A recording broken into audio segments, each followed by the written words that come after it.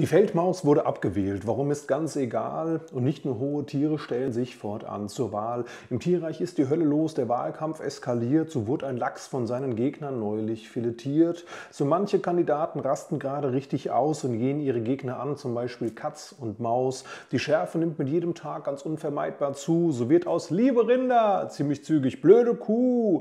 Auch Donald Duck zog sich zurück. Die Basis war passé, denn alle seine Entchen schwammen lieber auf dem See. Im Tierreich wird's nicht langweilig, im Gegenteil sogar. Von den Plakaten strahlen Meister Petz und Adebar, auch Reinecke und Adelheid, Berlin und Ise, Grimm und Meister Lampe sind bereit für ihren Wahlgewinn. Sie strahlen voller Zuversicht, sind längst schon etabliert, wobei das ja nicht heißen muss, dass man dann nicht verliert. Die Slogans sind fantastisch vage. Wer mich wählt, wählt gut. Unendlich lange Urlaubstage. Mutig sein braucht Mut. Für die Tiere, für die Wale, für mehr Sicherheit für natürliche Natur und gegen Kriege, Hass und Streit.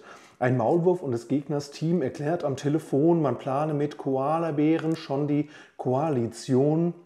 Der Schmutzfink und der Dreckspatz suchen Müll in jeder Ecke, sie suchen sich ein Opfer und zack, machen es zur Schnecke. Fuchs, du hast die Gans gestohlen, gib sie wieder her. Hier ein Bild aus einem Stripclub, schaut, da steppt der Bär. Seht doch mal den Dobermann, das ist ein dicker Hund, lahme Ente, dumme Gans, schreien sie ohne Grund. Auch die Insekten treten an, sie haben viel zu bieten, dabei kämpft jeder Frau und Mann mit steigenden Termiten.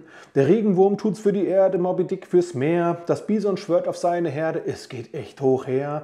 Nachtflugverbot für Fledermäuse, fordern Käfer und Fliegen. Tempolimits für Jaguare, wollen Gazellen und Ziegen.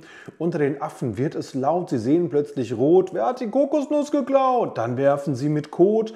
Den Eisbären ist viel zu warm, Reptilien schnell zu kalt. Den Eintagsfliegen ist es Wurst, sie werden nicht sehr alt. Die Eule ist zwar weise, doch sie ist eben auch scheu, die Ameisen zu leise und dem Schaf geht's nur ums Heu. Der Wahltag ist nun endlich da, mit feierlicher Miene erklärt der Igel Abnora zur Siegerin, die Biene. Sie ist allein zwar ziemlich klein, doch mit dem Volk sehr fleißig. Na gut, sie ist die Königin. Das passt nicht gut, das weiß ich. Doch ging es mir mit dem Gedicht, das lässt sich schwer verneinen, doch nur darum zu sagen, manchmal siegen auch die Kleinen.